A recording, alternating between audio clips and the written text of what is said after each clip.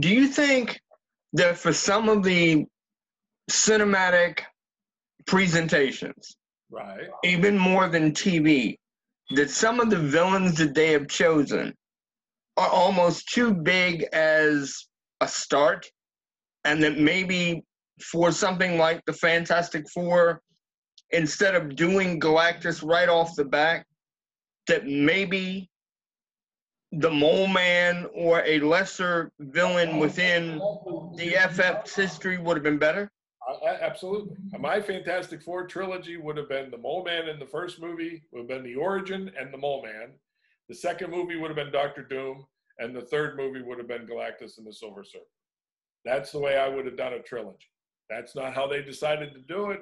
You know, nobody asked me. I, I, I they, God knows, I'll give them my phone number if they want Ron's opinion. But, but nobody's asking me. Let me ask you, Ron. What so? What are you up to now with respect to to to work? Uh, do you still get the opportunity to work and to, to do comics and um, uh, and uh, and how's that been? And and, and Absolutely. I mean, I'm still I'm working with an outfit now out of California called Sit Comics, uh, run by a gentleman named Darin Henry, who has experience writing uh, for television. Uh, s- primarily, he has worked in sitcoms, which is why he called it Sit Comics. But it's uh, it's he's a child of the he's a child of the Marvel '70s. So he is doing you know really traditional comic book tropes with a with, with some kind of a sitcom twist to it you know he's Hmm. he's always got something there's a little there's a little twist to it that makes it very unique and as a writer his voice is very unique he's bringing in other writers uh, like todd dezago and dave michelinie and roger stern and tom defalco uh, i'm working Wow. on a character called blue baron that uh, is a, a very traditional uh, superhero, but again, it's got a twist to it that uh, uh, is very enjoyable, and he's he's. I'm I'm proud to be a part of the the uh, the effort because he he wants to do all ages comics. He's doing some humor books, he's doing a horror anthology, um, but he's doing uh, quite a few superhero titles, and he's doing a a, team uh, collecting the the solo characters. In this case, it's the Heroes Union that um, it has been a lot of fun. Uh, a lot of fun for me to work on. He is on the verge of of uh, closing the deal to have these things distributed. And they're already, if you go to sitcomics.net, you can either order them through the mail or you can see them on Comixology digitally. But he's on the verge of having them distributed through Diamond, which I can't wait for because I Wow. can't wait for other people to see these books because they're a lot of fun. And if you enjoyed Marvel in the, the 70s and 80s, I, I can guarantee you will enjoy these titles. Although the the uh, the attitude and the, the the the actual writing of it is very fresh and and, and modern. So uh, that's one of that's my main storytelling, my primary storytelling uh, uh, job now. Um, I also, you know, occasionally we we get called to do things for one shots at Marvel and stuff. We did a ten page Spider-Man story. We got the band back together, DeFalco and Sal Oh wow. Ten page Spider-Man story a while back for a one shot, and uh, actually we just got called uh, not all that long ago, I guess about a year ago, to do uh, a ten page Thunderstrike story Oh wow. for a for a uh, a one shot called Thor the Worthy, and they did a, a Jane Foster story and a Beta Ray Bill story, and they called DeFalco and I, and we got Keith Williams on as inker. Sal was unable to do it um, for a ten page. Not it, it was, and they didn't want Kevin as Thunderstrike. They wanted Eric, so we did a ten page Eric story that kind of fits in between you know Eric's uh, career as a superhero and stuff. That and sounds fantastic. those That sounds cool. Oh, looking for it. There should be. I mean, there should be copies around. There were there were a couple of different covers. Walt did a cover, and I forget who did the other cover, but uh, it's called Thor the Worthy, and uh, you know, I, I, I don't know how it sold, and I don't know if there's any plans on doing anything else with that kind of a thing. But it was a one shot that they did for some reason a while back, and uh, it was fun. It was fun getting back, you know, doing the character. If you, if Tom had a brilliant, you know, idea to do a Spider-Man storyline, he had you on board as artist and Sal on board as inker. I mean, that's a that's a powerful team. Could he go? You know, could you guys go to Marvel and say, look, give us a shot to do this story, this this you know story? Is that possible? Say that. I just don't know whether Marvel would be interested at all. And, and we may. Uh, the other thing that happens too is that the budgets are different now than they used to be. Oftentimes, some of the old guys don't get called because the uh, the budgets aren't the same as they used to be. They, they less or more. Yeah, they they don't less.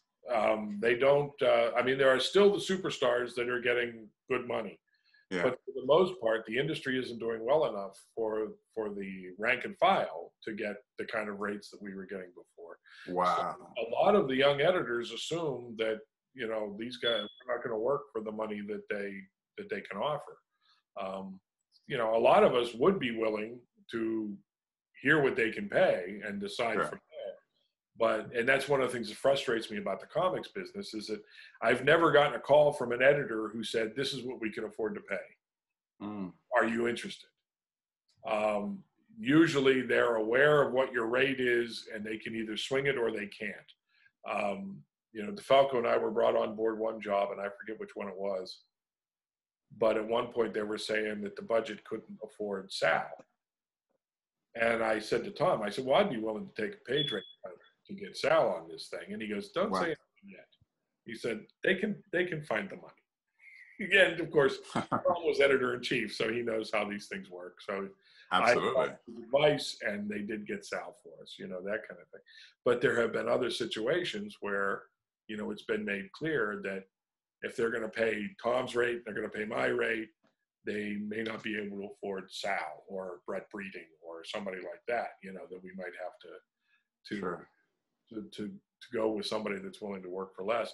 So it's it's interesting that way. I mean, I, I'm really glad that I mean Mark Bagley has had an incredible career. I mean, he's back and now yeah and I, you know, he's a I I like the guy a lot personally. I haven't seen him in decades, but I I always liked him personally, and I wish him a lot of luck. And I think it's great that he's still respected the way he is.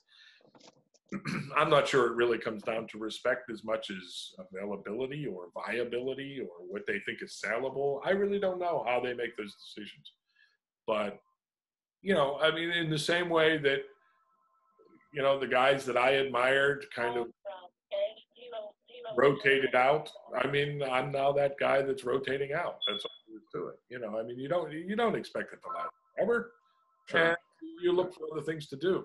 On top of sitcomics, I'm I'm very happy with uh, kind of a secondary career uh, doing commissions through Catskill. I was going to ask you about that. Yeah, that's that's uh, that's a powerful that I that I discovered and found Scott Kress, and Scott Kress found me because he's an incredible professional that handles all the orders and you know when i need another raft of commissions he just hands them to me uh, we have some people on a wait list which is very gratifying and you know in a way it's kind of living off of the the 30 year career that i had you know it's, Absolutely. it's a reputation but i'm glad that that opportunity is there to to still connect with fans and uh, and once I got on Facebook, that was really why I wanted to get on Facebook was I saw that Pat Olliffe was using it to keep his fans uh, abreast of what he was doing and, and what comics might be coming out and all this kind of stuff.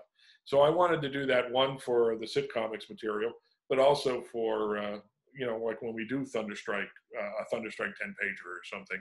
You know, I'll do a lot of exactly. about it, let people know it's coming out and when it comes out and everything that's really I, I my page on Facebook has nothing very personal on it at all. It's all very uh, career oriented and uh, comics oriented. We'll certainly put a link uh, on your of your Facebook page onto this onto this YouTube video so that people can get. Yeah, if if, if find it fun. So. If someone wanted to get a commission from you, what do they do? Do they go to your website? What what do they do? They go to catskillcomics.com. Uh, Okay. and it's all one word, Catskill Comics. And they will see a homepage that has a list of all the people that are members of Catskill Comics. At the top. And they'll click on my name and they'll go to my page and they will see rates for all different kinds of uh, commissions. Uh, we do have a wait list right now that I'm trying to chip away on. But, Wow. uh, well, the summer has been bizarre because of COVID, because the fact that all the conventions were canceled. Uh, Sure. We have kind of bizarrely benefited from that because all the people that had all the that were saving up money to go to conventions and get sketches there coming to the websites and uh, getting from uh, getting them from us there. So, um, you know, I'm a little backed up, but I look at it as job security. So, you oh, know, that's yeah, you're, that means you're as busy. If you're backed up, you're as busy as ever. You're as you're as I, it was. I, I am still able to make a living drawing uh, superheroes, and uh, I couldn't ask for anything more than that. I mean, that's awesome.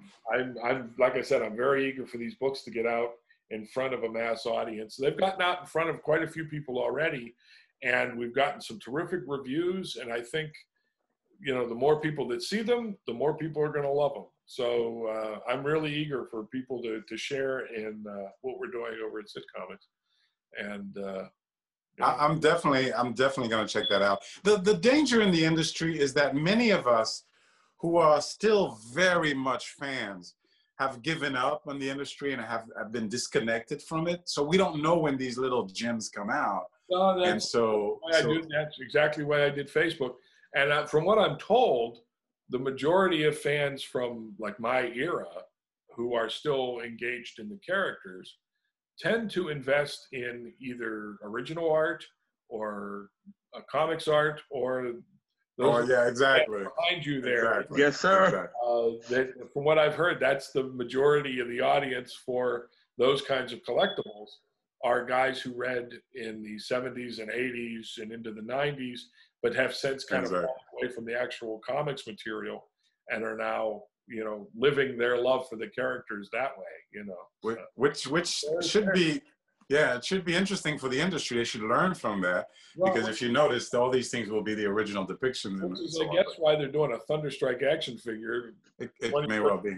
after he was canceled. You know, okay. It may well be. The, uh, the one big thing um, that I've always wanted to know, and especially since you worked on the mid, uh, the original Marvel run of the book, right? was it, in your opinion, was it canceled prematurely The Marvel run as a whole was it? canceled? um, for Star Wars? Uh, it was, yeah. I mean, I think that was just a decision that was made. As as near as I can remember, that was a decision that was made by Lucasfilm. Really? Yeah, yeah. I they- always thought it was Marvel that pulled the plug on it. I don't believe so because I, I don't know how the book was selling because I had moved off it, and Jo was still writing it. Right. Uh, Cynthia Martin had come on, Yes, Uh, I, re- I remember. and uh, you know, but we were having more and more problems with uh, Lucasfilm because between movies they would keep us very in a very narrow tube because you know like one of the first things after the first movie that Dave Michelinie wanted to do one of his first plots past the movie was it makes sense to him that the Empire would just try to build another Death Star and so in one of his plots, he said, the Empire is going to build another Death Star. And Lucasfilm went, no, they're not. You're not going to do another Death Star. So Dave went, oh, well, I guess that's going to be in one of the movies. Uh, you know, so there were a lot of those kinds of things that were happening a lot. I mean, just on my run with Jo, when we did the the Lahsbees, the little right. creatures. They originally looked a lot more like Ewoks. I didn't know about Ewoks. We had no idea what an Ewok was, but we created these little furry teddy bear guys, Right. ears and stuff. And when Lucasfilm saw them, they freaked out. And said, because I penciled the whole job, and they looked at them and said, "You can't, you can't do these." And they went, "What? Why?" And said, "We're not going to tell you why, but you can't, you can't do these." So they had Tom Palmer when he inked it, Right. changed them to make them look like kitty cats, make them more look more like kitty cats, and they colored them pink and they colored them light blue and all this. I remember the character, sir. because because the original characters w- would have been brown and would have looked more like teddy bears, and they had big eyes, and they were wearing you know leather clothing with laces and stuff, and and that, they were they couldn't let us. And it was in the same uh, issue that had Luke on a uh, hang glider. And when I they rem- hang glider, I have the entire run, so I know what you're talking about. be accused of somehow getting a hold of the the script for return which we what we didn't and you know they knew we didn't but there was a whole bunch of stuff there that you know we were constantly being told no you can't do that and we just assumed that okay well they're telling us we can't do it that must be something that's going to be in the movies so what happened was after return um, i was on the book for like two or three issues after return and then um, they took over. Jo took over with uh, with with with Cynthia Martin, and I think Lucas Lucasfilm just knew that it was going to be a while before there was going to be another movie. I mean, ultimately, George decided, you know, how many years was it before he made the the prequel and stuff. Uh, it was roughly 32 years. there you go. And I so I think what ended up happening was that he just did not want you know there was already the novels that were becoming the extended universe and all this kind of stuff. And and my understanding was i don't know how it was selling for marvel so maybe there was an element of the sales having dropped or something Okay. with the movies not that's a possibility i don't know for sure. Um, jo duffy's on facebook you could ask her. But uh, I, I think ultimately what it was was that lucasfilm was not interested in riding herd on a creative endeavor where they would have trouble they can't give you carte blanche. Right. and they don't really have a mechanism. Once the movies aren't being produced they don't really have people that are going to be hired to just read comic book plots and say no you know that kind of thing. So i think it was easier for them to just pull the plug to tell you the truth. And you know i mean then dark horse ended up picking it up and they started you know they, they, they were still doing other licensing and everything but i I always got the impression it was more on Lucasfilm's end. I could be completely wrong, Kevin. Thank you so much for clearing that up, No, though. I always thought it was I was really sorry. just to- Marvel. yeah, I, I was really sorry to to leave the title because I really enjoyed working with Jo Duffy, and uh, it, it was a it was a tough decision for me to to leave Star Wars. But um, you know, Who's your favorite character, by the way? I'm curious. Like, who, who, as a kid, who were you a fan of Oh. from a character point of view? Spider Man. I, I was a big Spider Man guy. Um, Star Wars. I'm a Luke guy. You know, I mean, I, I like Han, but Luke's my guy. Um, but yeah, as far as Marvel characters, uh, I, I Spider Man was the first and always the the most extreme. But I, I love Captain America. I would have loved to have done a run on Cap with uh, with either Mark Gruenwald or, or Oh, that would have been great. That would have been great. um, For I would sure. in fact there was you know there was some loose talk we were offered we were sort of kind of offered cap while we were on but um, i i didn't feel they they weren't sure i could and i didn't feel confident that i could do two books a month said i wasn't going to leave thor Hmm.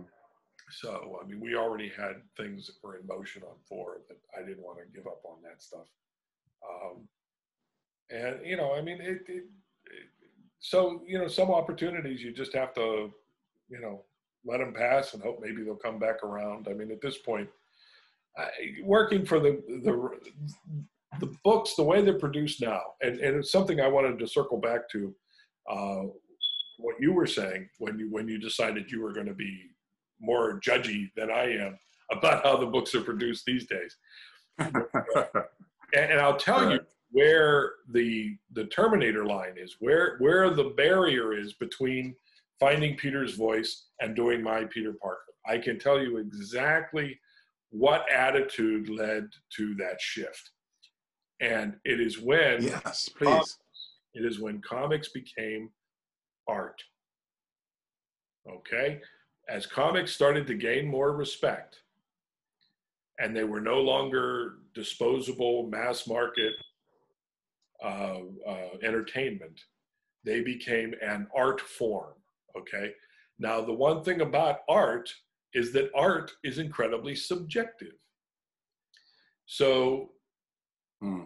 the industry that I was trained in was a very objective industry because objectively, you either tell the story clearly or you don't tell the story clearly. And editors can look at your work and objectively say, you are not telling the story clearly enough. So you need to Right. do that better. You know, there were objective standards to what we were doing, producing our mass market entertainment. Once it became art, once it became self-expression, then then the artist, be be that the writer or the colorist or whoever, but the the artist uh, becomes more important than the product.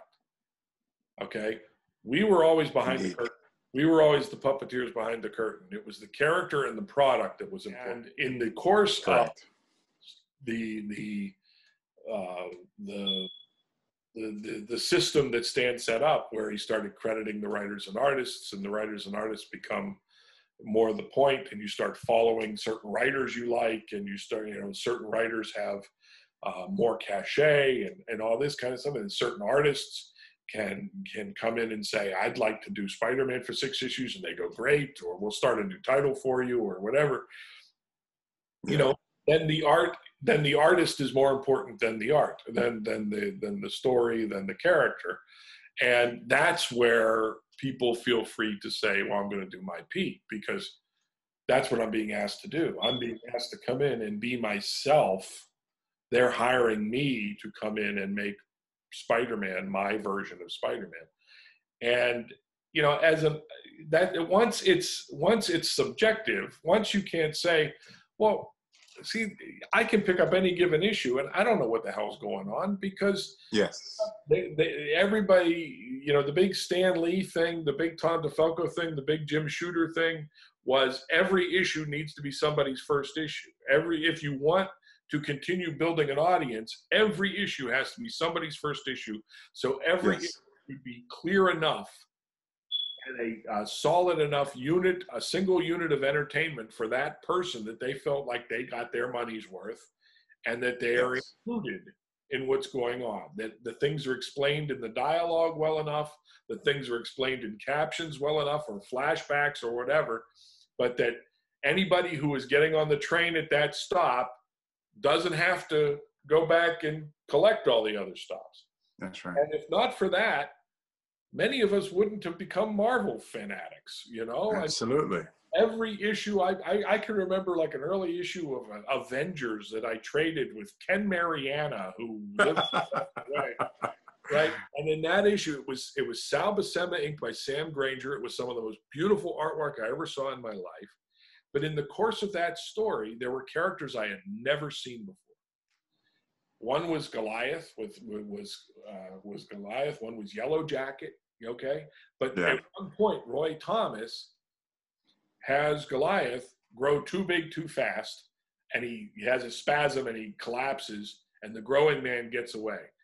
And then Yellow Jacket runs over to him, and Hawk and uh, uh, Goliath says to Yellow Jacket, "I guess I blew it, Hank. I'll never be the giant man that you were." And and uh, and Yellow Jacket says, I've never been prouder of the man that succeeded me as Giant Man, you know, that kind of thing. And I'm going, oh, as a new reader, I now know what Goliath used to be Hawkeye. Yes. Yes. Hank Pym is now Yellow Jacket. Right there Yes. In one little bit of dialogue, I now I know what my big question is answered and I can move on and I'm included in this story, you know. Absolutely. And, and if I may interrupt, it also made you curious to want to find out when that change occurred. So there was a connection to the past as well. But but, But but you, go on. You should, you should have to. You, you should want to buy back issues because you want to buy back issues, not because. Exactly. And when you pick up a new book now, you you know I've done it several times. I've attempted to like jump back in. One time I was like after the Avengers movie, I was in a, on an Avengers kick. I said, "Let me see where I can jump in." I went to a nice comic book store. There was a wall. I didn't even know which Avengers was the main title. Exactly. There were so many miniseries and ancillary things going on that Exactly. I couldn't tell which was the Avengers. Exactly. And it made me crazy. I mean, I and I asked somebody, and they're going, "What do you mean?" I said, "I mean, which one is the monthly Avengers title that was started by Stan and Jack, and you know is going to go off into the future?" And they're going, "Well, you know." There's been new number ones along the way, so I'm not quite sure what you. Ref- I, I said, which one is the core Avengers title? did Do they you know think who they were there's a talking way to? to go- Did they, did, they, did they know who they were talking to? I don't. Yeah, probably. The guy I was talking to probably did. But I, I just, I, I walked away. I mean, that, it's like this is nuts. There have been a couple times when I've been like really excited where I'll read that a new team is on. I'm going, oh, that sounds cool. So I'll make a point to go out and buy a, a comic that you know. But but again, the characters are so different and so changed from the last time I saw them, and there's no attempt at all to help me catch up. But, it- but if I may, that's the point I was trying to make earlier when I dared to be judgy, because it's a dangerous thing to be judgy. Uh, but that's the point that I made. When you dilute the characters to such an extent, it becomes diluted and No, I you don't lose. that at all. I don't. Yeah, agree yeah, with that at all.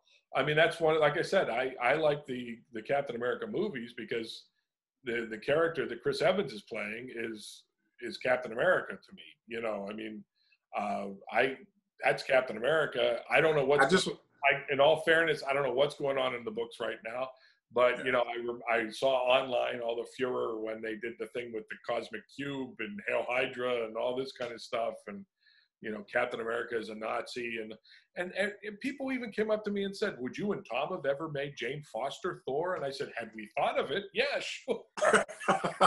you wouldn't have called her Thor. We would have called her something else, but yeah, exactly. I don't have a problem with a woman wielding Mjolnir, you know, that kind of thing. And Jane Foster was a good choice, although I didn't, was she even in the books? I mean, I know the, she had been touched upon and it had been established.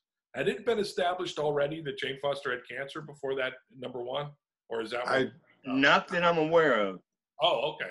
So that was all brand new for for that Thor, for that oh, permutation. yeah, yeah, yeah, definitely. The, the cancer one was was related to that storyline. Yeah. I mean, But but you would have you may have come up with a with with Jane Foster wielding the hammer and becoming a Thor, but I think you would have handled it differently. I think that it would have it would have been that greater connection to the to the mythos and to the history of the of the character let, let rather than just One let me tell you one of the things that we did right that should become part of uh, it should be in a handbook somewhere if you're going to do a legacy character okay if you're going to have eric masterson take over for thor or kyle rayner take over as the new green lantern or any number of things sure.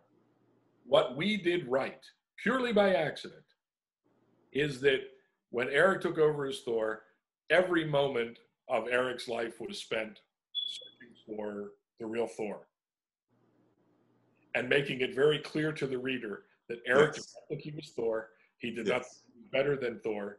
Yeah. We, the, the, the narrator did not think he was better than Thor. That nobody who was observing him thought he was better That's he right. no way was successfully supplanting Thor. Okay, um, you know, and I think they they did something very similar with Kyle Rayner because I was reading those books at the time, and uh, I thought they were succeeding in the same way that they made Kyle Rayner a well drawn character of his own, and it was no commentary on Hal Jordan that Kyle Rayner was now Green Lantern. You know That's that right. and and you need to do that because the worst thing you can do when you're revamping a character that way or you know trying to do a legacy version of that character for any period of time because we always intended to bring thor back i mean there was there was never a question about that but you cannot tell the thor fans that they were wrong to like thor Exactly. You know, you cannot be arrogant enough to say, "Oh, by the way, that stuff with that, uh, you know, all that uh, uh, Shakespearean dialect and all that kind of stuff, that was crap, and we're not going to do it anymore." And you were stupid to like it. And I'll tell you one of the reasons why that resonates with me, because one of the first jobs I had for Marvel, the first job I had for Marvel, was Ka-Zar the Savage hmm and I loved the original Ka-Zar stories. I loved the Kirby Ka-Zar stories. I loved the stories that they did in Savage Tales in black and white with Stan Lee and John Buscema. I loved everything about the original Ka-Zar stories. And when they offered me Ka-Zar, I was like, "Are you kidding me? I love Ka-Zar." Bruce Jones was doing something completely different with Ka-Zar at the time. Uh, people have kind of lovingly called it Ka-Zar, the middle-aged accountant he was having like a, uh, a midlife crisis, and Shanna was there, and they were they would bicker back and forth, and it was kind of a uh, the the book was very much about their relationship and everything, and and there was some action and adventure and some really good stuff, but Ka-Zar wasn't the third person Ka-Zar stronger than the giant boar, stronger than the mastodon, you know. And I loved that character, but everything about those books was telling me I was stupid Yeah. like in the Yeah. original Ka-Zar. Yeah. and a couple of times I would approach Louise and I said, could we do a story where we explain how my Ka-Zar became Bruce's Ka-Zar? Mm. And she says, "Do you have a story in mind?" I said, "I said in the in broad strokes, I'm thinking like there's this village that his his buddy Tonga is from, you know, and he knows this village very well. He feels it's one of the places in the Savage Land he feels at home, and they are raided by some massive raider party that one man could not hope to defeat, and he comes over the hill with Zabu and he sees the village burning and he comes in and he's trying to be Ka-Zar and he's trying to get a handle on this, but the raiders slaughter most of the people in the village, including the people he was closest to, and he can't do it. He feels impotent. He can't do a thing to stop them, and they ride off, and the village is burning around him, and he's broken. He couldn't do it, and he reverts. You know, he realizes Wow. Wow. he realizes that what am, what am I doing? you know, I mean, because Ka-Zar was always very aware of civilization. Absolutely. He was always very aware. What I loved about the Stan John Buscema stuff is that he he he knew civilization, but you know, only in civilization does man kill and call it sport. Only in civilization do you pollute your own Yeah. air and water. Only in civilization, you know, do you treat each other uh, like uh, like chattel, you know, that kind of thing. He said, I know civilization and I spit on it, you know, that kind of thing. And so I, I I figured the only way to do this was to like put him in a situation where he realizes that he he isn't Lord of the Jungle. He isn't stronger than the mastodon, stronger than the giant boar. You know that he feels completely impotent, and it scares him. And so then Bruce's story become him regaining himself. You know that kind of thing. And Louise listened very politely, and then said, "We're never." No way. Oh, come on. And, and I said, well, you know, because like there was a scene in one of the stories where he he goes nuts. He thinks Shanna is dead, and he goes nuts and he snaps and he kills this creature and throws it into this spike pit. You know that kind of thing. And in the course of that story, I liner noted when he goes savage. I liner noted him saying. Stronger than the mastodon, stronger than the giant boar, mighty as Ka-Zar, Lord of the Jungle. You know? and it was and it was completely ignored because I don't know if Bruce even knew what it was referring to because I don't know if he read the old stuff. And you know, I would have those conversations with Louise, and Louise said, "Ron, believe me, I understand where you're coming from, but nobody cares."